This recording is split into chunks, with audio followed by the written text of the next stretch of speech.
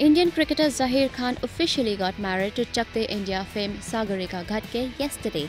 And post their marriage, they hosted a party for their close friends and family. The occasion was graced by many cricketers with their wives and celebrities alike.